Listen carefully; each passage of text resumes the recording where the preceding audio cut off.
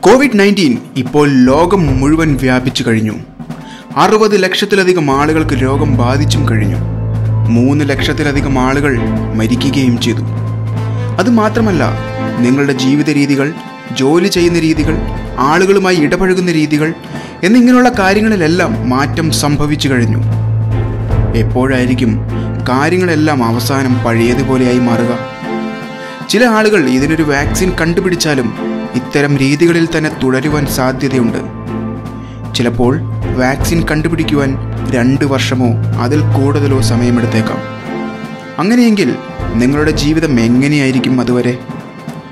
എന്തായിരിക്കും ഈ വാക്സിൻ നിങ്ങളുടെ ശരീരത്തിൽ ചെയ്യുക? എപ്പോഴായിരിക്കും കാര്യങ്ങളെല്ലാം സാധാരണമായി മാറുന്നത്? ഇതറിയുവാൻ ഈ വീഡിയോ മുഴുവനായി കാണുക. വീഡിയോ ഇഷ്ടമായാൽ മറക്കാതെ ലൈക്ക് ചെയ്യുക കമന്റ് ചെയ്യുക ഈ ചാനൽ സബ്സ്ക്രൈബ് ചെയ്യുക. കോവിഡ് നയന്റീൻ വാക്സിൻ നമ്മുടെ ഇമ്മ്യൂണിറ്റി സിസ്റ്റത്തെ പരിശീലിപ്പിക്കുന്നതിന് വേണ്ടി ശ്രമിച്ചുകൊണ്ടേയിരിക്കും. ഇതിന്റെ ആശയം എന്ന് പറയുന്നത് വൈറസിനെ തിരിച്ചറിയുന്നതിനും പോരാടുന്നതിനും നിങ്ങളുടെ ശരീരത്തിന് ദോഷകരമല്ലാത്ത രീതിയിൽ സഹായിക്കുക എന്നതാണ്. അതിനാൽ നിങ്ങളുടെ യഥാർത്ഥ ജീവിതത്തിൽ രോഗം നേരിടുമ്പോൾ നിങ്ങളുടെ ശരീരത്തിന് കോവിഡ് നയന്റീനുമായി എങ്ങനെ പോരാടണമെന്ന് അറിയുവാൻ കഴിയും.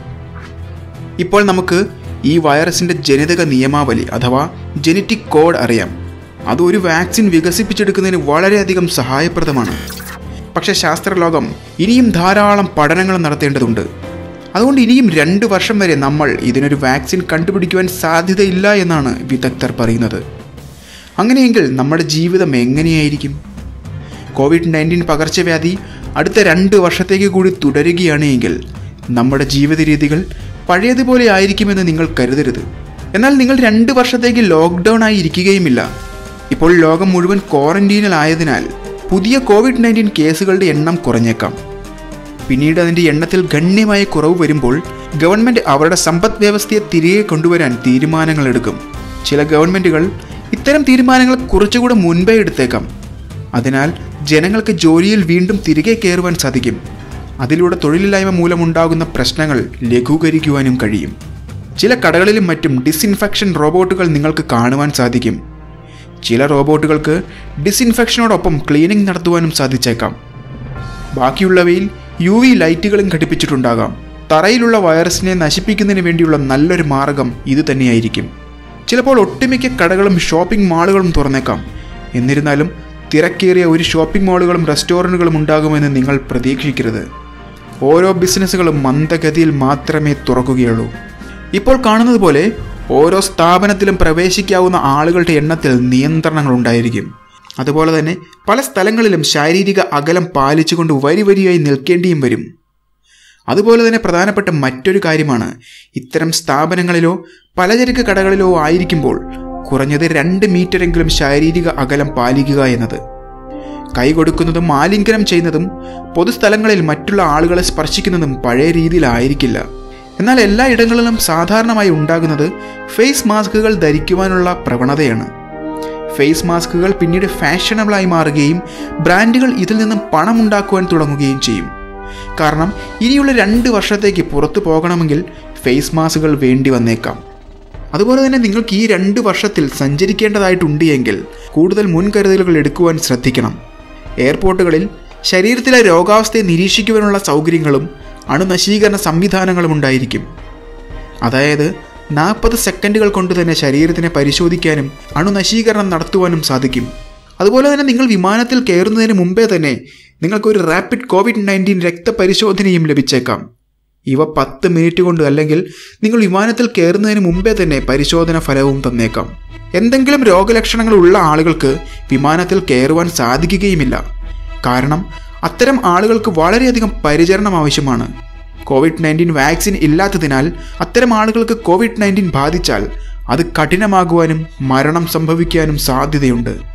നിയന്ത്രണങ്ങൾക്ക് പതിയെ പതിയെ ഇളവുകൾ നൽകുകയും അതോടൊപ്പം കോവിഡ് നയന്റീന്റെ പുതിയ കേസുകളുടെ എണ്ണത്തിൽ കുറവും സംഭവിച്ചാൽ കൂടുതൽ കച്ചവട സ്ഥാപനങ്ങളും മാളുകളും തുറക്കുന്നതായും നിങ്ങൾക്ക് കാണുവാൻ സാധിക്കും. അതുപോലെ തന്നെ പാർക്കുകളും ബീച്ചുകളും സ്കൂളുകളും എല്ലാം വീണ്ടും തുറക്കുകയും ചെയ്യും. ശാരീരിക അകലം പാലിക്കേണ്ട മര്യാദകളും കൈകൾ എങ്ങനെ ശരിയായി വൃത്തിയാക്കാം എന്നതുമെല്ലാം സ്കൂളുകളിലെ ഒരു പാഠ്യ പദ്ധതിയായി മാറുകയും ചെയ്യും. ഇത്തരം കാര്യങ്ങളെല്ലാം തുറന്നു പ്രവർത്തിക്കുവാൻ ആരംഭിച്ചാലും സ്പോർട്സുകളും ഇവന്റുകളും വലിയ തോതിൽ തന്നെ നിയന്ത്രണത്തിലായിരിക്കും. കാരണം വലിയ ആൾക്കൂട്ടം കോവിഡ് നയന്റീൻ പടരുന്നതിന്റെ വേഗത വർദ്ധിപ്പിച്ചേക്കാം. അതുകൊണ്ട് തന്നെ പിന്നീട് ഇത്തരം കാര്യങ്ങളിൽ പങ്കെടുക്കണമെങ്കിൽ നിങ്ങൾ കോവിഡ് നയന്റീൻ വാക്സിൻ ഉപയോഗിച്ചിരിക്കണം എന്ന അവസ്ഥ വന്നേക്കാം.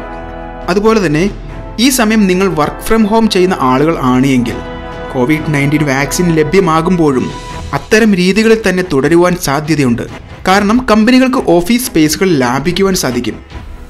പക്ഷേ അപ്പോഴും ജോലിയിൽ പോകാൻ പറ്റാത്ത ആളുകളുടെ അവസ്ഥ എന്തായിരിക്കും? ഓർക്കുക കടകൾ വീണ്ടും തുറക്കുമ്പോൾ ഉപഭോക്താക്കളുടെ എണ്ണത്തിൽ നിയന്ത്രണമുണ്ടായിരിക്കും. അതുകൊണ്ട് തന്നെ അവിടെ ജോലി ചെയ്യുന്ന ആളുകളുടെ എണ്ണത്തിലും കുറവുണ്ടാകും. അതായത് ആരോഗ്യ പ്രശ്നങ്ങൾ കൊണ്ടും സ്ഥാപനങ്ങൾക്ക് തൊഴിലാളികളെ തിരിച്ചു വിളിക്കുവാൻ സാധിക്കാത്തത് കൊണ്ടും പത്ത് ലക്ഷത്തിലധികം ആളുകൾക്ക് തൊഴിൽ നഷ്ടപ്പെടുവാൻ സാധ്യതയുണ്ട്. അതുകൊണ്ട് തന്നെ ലോകം മുഴുവൻ ഇത്തരം ആളുകൾക്ക് ഒരു അടിസ്ഥാന വരുമാനം നൽകേണ്ട ക്രമീകരണങ്ങൾ ചെയ്യേണ്ടി വരും. പക്ഷേ ഇതെല്ലാം നമ്മളുടെ പദ്ധതി പ്രകാരം പോയാൽ മാത്രമേ സാധിക്കുകയുള്ളൂ. ഇപ്പോൾ സുരക്ഷിതമായ രീതിയിൽ സമ്പദ് വ്യവസ്ഥ എങ്ങനെ തിരിച്ചു കൊണ്ടുവരാം എന്നത് ഒരു വലിയ നിഗൂഢത നിറഞ്ഞ കാര്യം തന്നെയാണ്. രാജ്യത്തിലെ ജനങ്ങളും ഗവൺമെന്റും വളരെയധികം ശ്രദ്ധിച്ചില്ല എങ്കിൽ കോവിഡ് നയന്റീന്റെ തരംഗം വീണ്ടും ഉണ്ടായേക്കാം. കോവിഡ് നയന്റീന്റെ രണ്ടാം തരംഗം ഉണ്ടായാൽ പിന്നീട് നിയന്ത്രണങ്ങൾ പലതരത്തിലായിരിക്കും. അതായത് രാജ്യത്തിലെ ഓരോ ജനങ്ങളെയും എപ്പോഴും നിരീക്ഷിക്കുന്നതിന് വേണ്ടിയുള്ള സംവിധാനങ്ങൾ ഉണ്ടായിരിക്കും. ഇതിലൂടെ ആരൊക്കെ നിയന്ത്രണത്തെ മറികടന്ന് പ്രവർത്തിക്കുന്നു എന്ന് മനസ്സിലാക്കുവാനും അത്തരം ആളുകളെ കണ്ടുപിടിച്ച് കോവിഡ് നയന്റീൻ പരിശോധനയ്ക്ക് വിധേയമാക്കുവാനും സാധിക്കും. ഇനി കോവിഡ് നയന്റീന്റെ രണ്ടാം തരംഗം ഉണ്ടായില്ല എങ്കിൽ ഇപ്പോൾ നമ്മൾ കണ്ട ജീവിത രീതികളായിരിക്കും കോവിഡ് നയന്റീൻ വാക്സിൻ ഉപയോഗിച്ചില്ല എങ്കിൽ നമ്മെ കാത്തിരിക്കുന്നത്. ഇത് രണ്ട് വർഷത്തിനുള്ളിൽ തന്നെ വികസിപ്പിച്ചെടുക്കും എന്ന് നമ്മൾ പ്രതീക്ഷിക്കുന്നു. ലോകാരോഗ്യ സംഘടന അഥവാ വേൾഡ് ഹെൽത്ത് ഓർഗനൈസേഷൻ പറയുന്നത് ഡോക്ടേഴ്സും സയന്റിസ്റ്റുകളും അടങ്ങിയ എഴുപതിലധികം സംഘങ്ങളാണ് കോവിഡ് നയന്റീൻ വാക്സിൻ കണ്ടുപിടിക്കുന്നതിന് വേണ്ടി നിതാന്തമായി പരിശ്രമിച്ചുകൊണ്ടിരിക്കുന്നത്. ചില കണ്ടുപിടുത്തങ്ങൾ മനുഷ്യരിൽ തന്നെ ഇപ്പോൾ പരീക്ഷിക്കുന്നുമുണ്ട്. വാക്സിൻ പ്രവർത്തിക്കുന്നുണ്ട് എന്ന് മനസ്സിലായി കഴിഞ്ഞാൽ ഇത് ലോകം മുഴുവൻ ധാരാളമായി ഉൽപ്പാദിപ്പിക്കേണ്ടതായും അതിനുശേഷം പ്രതീക്ഷയുടെ തന്നെ ഈ ലോകത്തിന് സാധാരണഗതിയിലേക്ക് തിരിച്ചു വരാനും സാധിക്കും.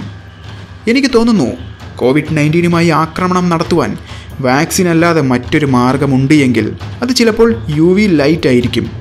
എന്തായാലും ഈ വീഡിയോയിലൂടെ കടന്നു പോകുമ്പോൾ കോവിഡ് നയന്റീനുമായുള്ള രണ്ട് വർഷത്തെ പോരാട്ടം നിങ്ങളുടെ ജീവിതത്തെ എങ്ങനെയൊക്കെ ബാധിക്കുമെന്ന് നിങ്ങൾക്ക് മനസ്സിലായി കാണുമെന്ന് ഞാൻ പ്രതീക്ഷിക്കുന്നു. ഈ വീഡിയോ ഇവിടെ പൂർണമാവുകയാണ്. വീഡിയോ ഇഷ്ടമായാൽ ലൈക്ക് ചെയ്യുക കമന്റ് ചെയ്യുക. ഈ ചാനൽ മറക്കാതെ സബ്സ്ക്രൈബ് ചെയ്യുക.